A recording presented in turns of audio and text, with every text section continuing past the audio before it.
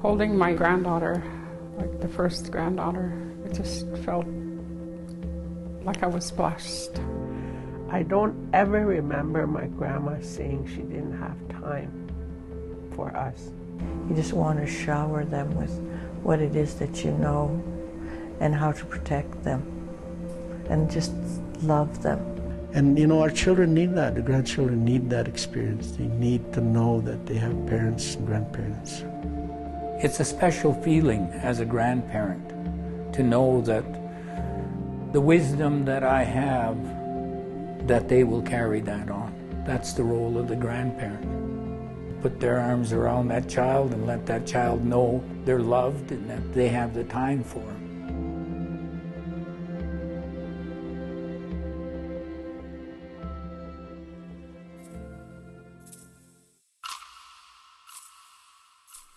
As Indigenous grandparents, we are guided by a kinship system that is thousands of years old.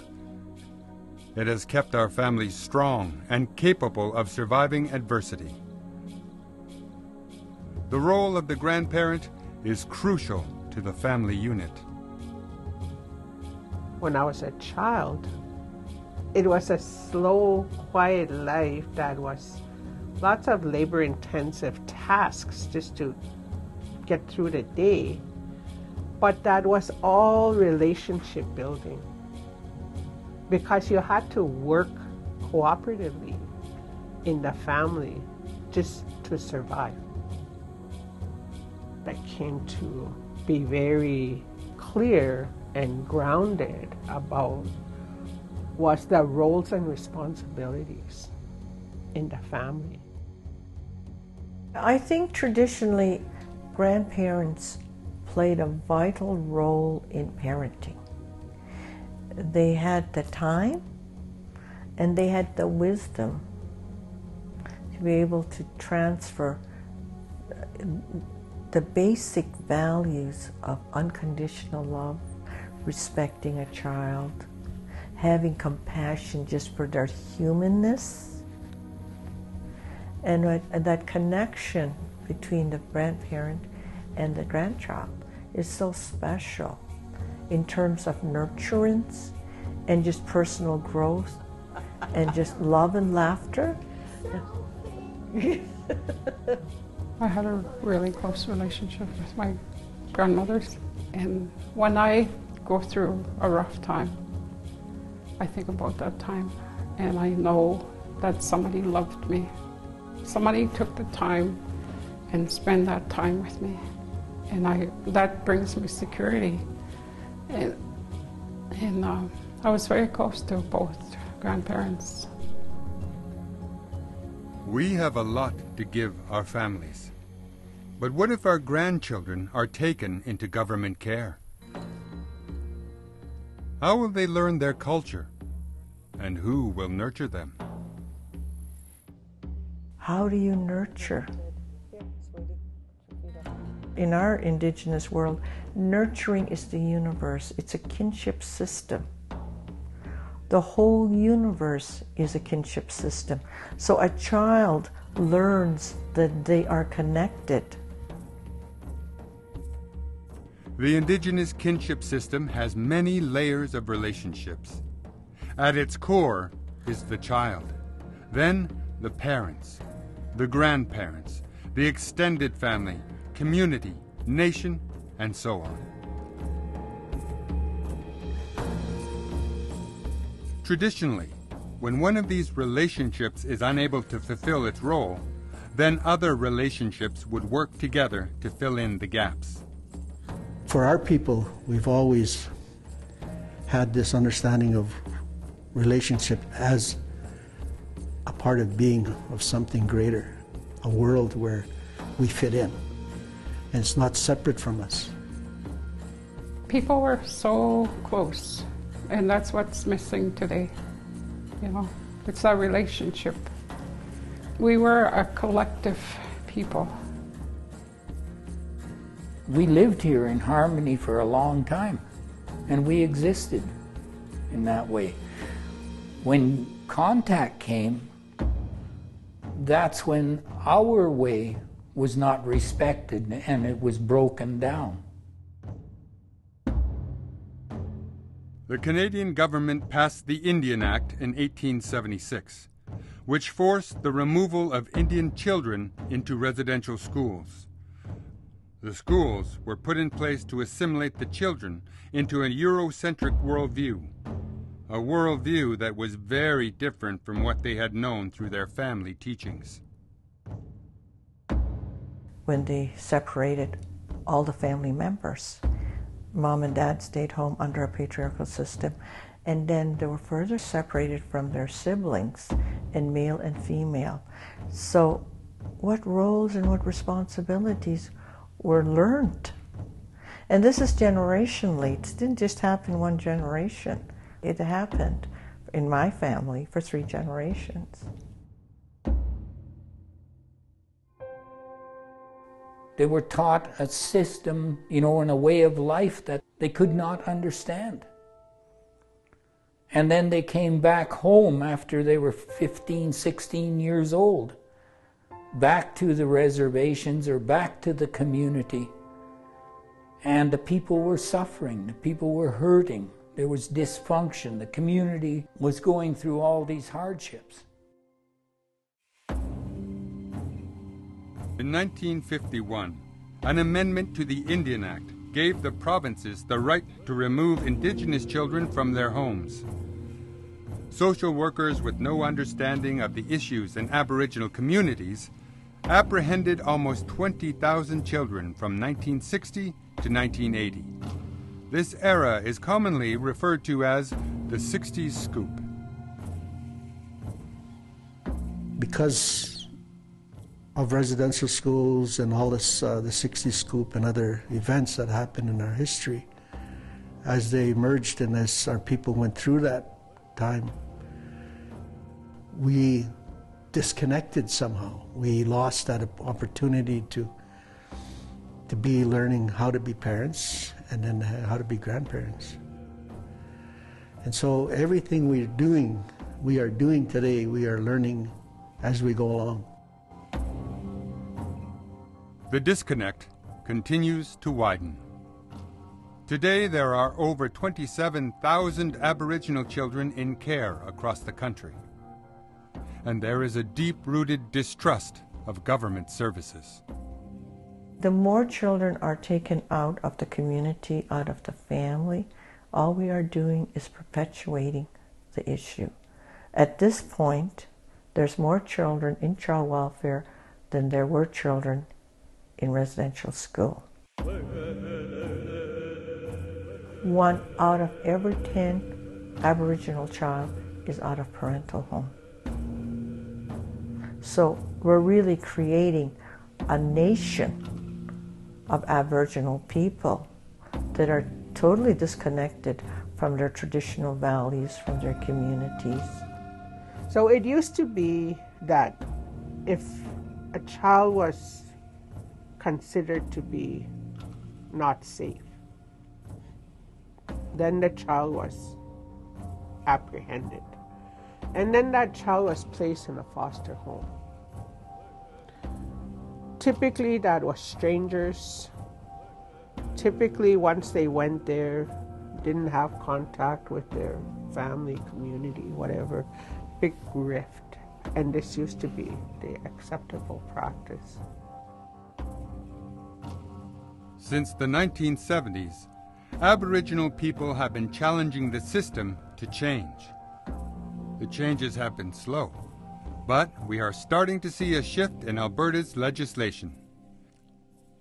In the Child, Youth and Family Enhancement Act, Section 2.1 considers the benefits of a placement within the child's extended family the benefits of a placement within or as close as possible to the child's home community, and the benefits of a placement that respects the child's familial, cultural, social, and religious heritage.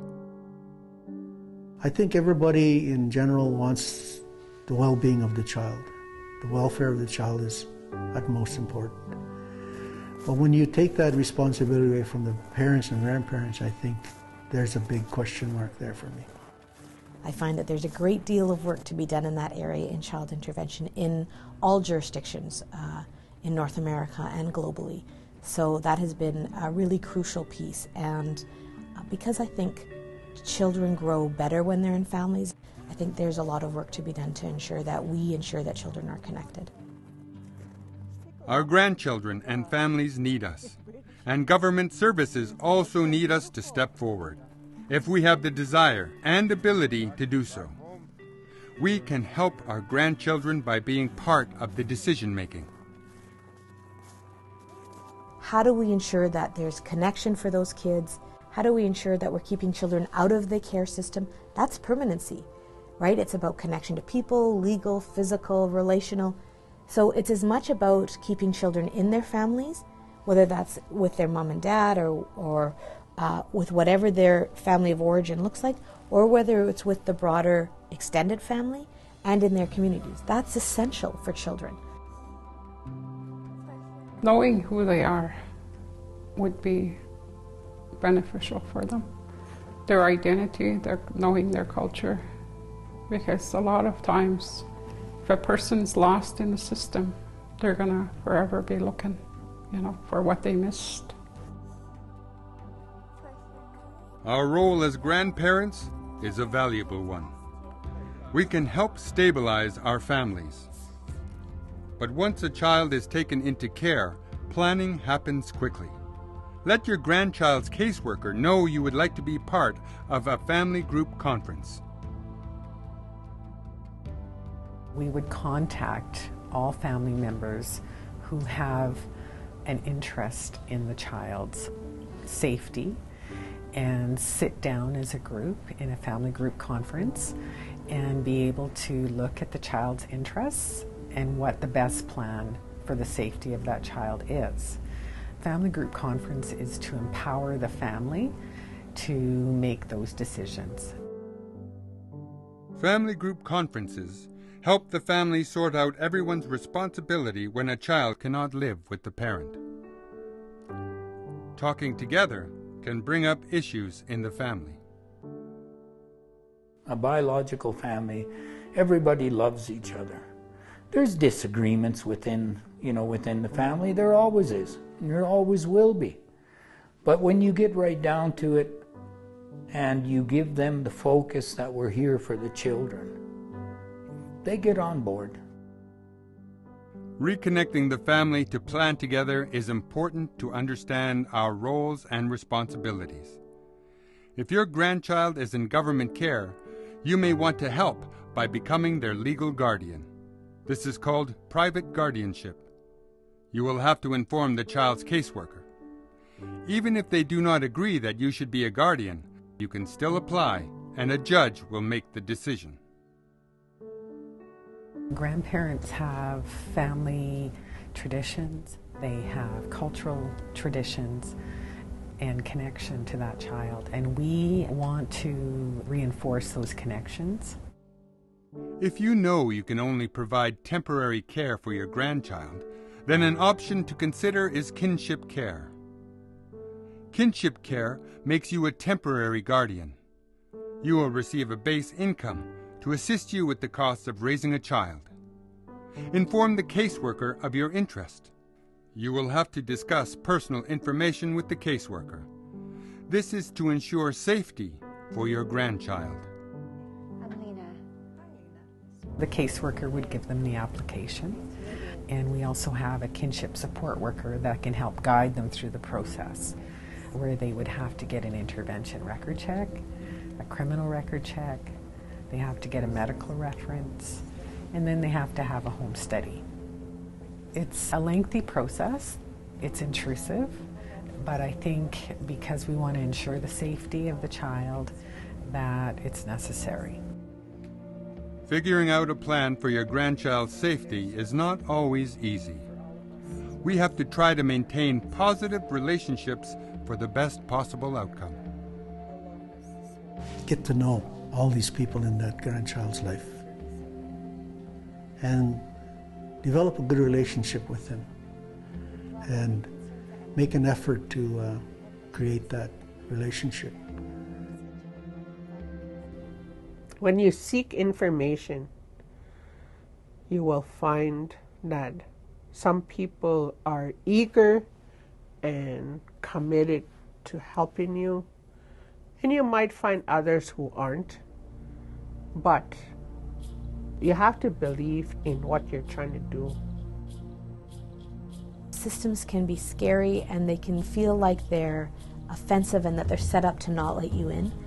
To just keep pushing so that your, your grandchildren know that you're there and that you try to be part of their lives. And to realize how critical you are for them.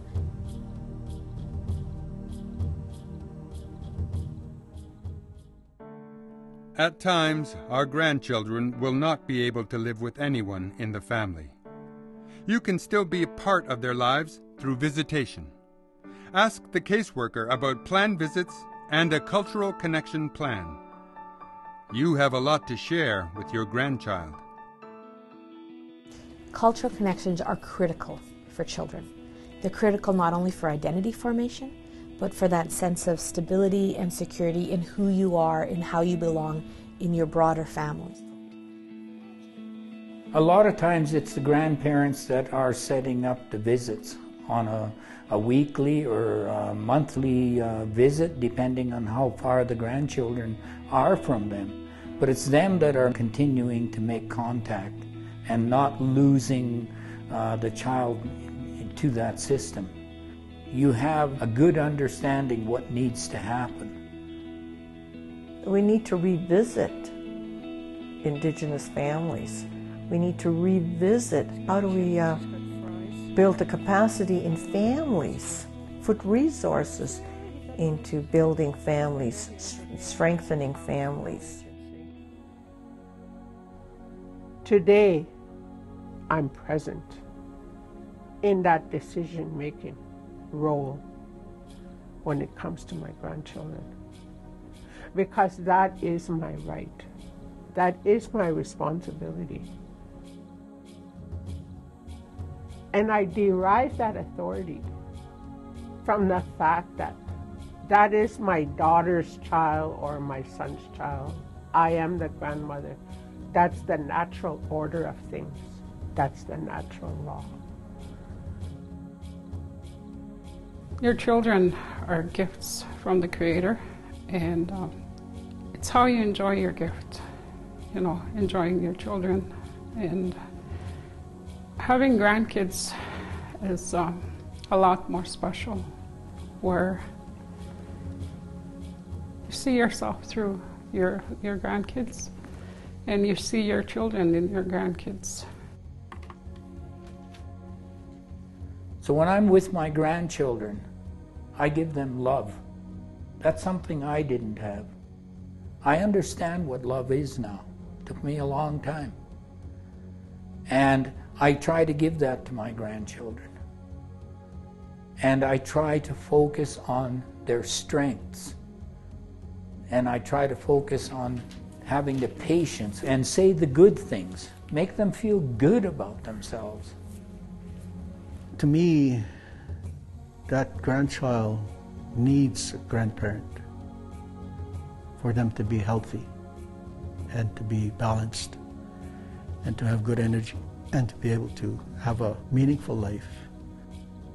I think when we get to be grandparents, I think uh, we have a special place in holding the family together, shaping responsibilities. And this is what I try to do with my grandchildren is really try to get them to experience our way of life. Because it's one thing to talk about it, but the power in it is the experience. So I think grandparents have that uh, special responsibility in terms of humanity. My grandmother, she taught us a lot. And I think that's what I miss. Somebody that was so grounded in who they are and just so full of love to give. Yeah, I love my grandmother. For more information, call Native Counseling Services of Alberta at 1 780 451 4002 to speak with a court worker in your area.